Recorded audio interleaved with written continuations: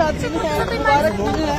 कि जम्मू कश्मीर के बहुत सालों के बाद अपनी एक सरकार मिली है और लोगों ने एक स्टेबल सरकार चुनी है। और नीचे खासकर दो हज़ार उन्नीस के बाद जम्मू कश्मीर के लोगों को बड़े जख्म लगे हैं और अब उम्मीद हैं सरकार बनी है वो सबसे पहले इन जख्मों का मरहम करेगी जो लोगों की मुश्किलात हैं जो लोगों को तकलीफ़ हुई है। 2019 5 अगस्त के फैसले से उसके बारे में सबसे पहला रेजोल्यूशन पास करेगी कि हम उस फैसले को कंडेम करते हैं।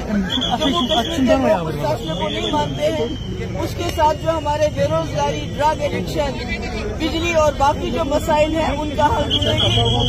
और जम्मू कश्मीर के लोगों की जो जो मुसीबत में फंसे हैं उस मुसीबत से ये सरकार लोगों को मैडम जिस तरह से सीएम के पास काफ़ी ज़्यादा